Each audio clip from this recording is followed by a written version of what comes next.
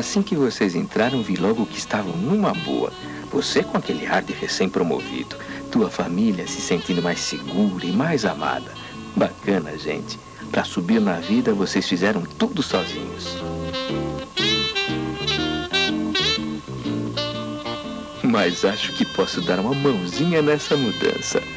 Olha, gente, o Iber te ama, tá?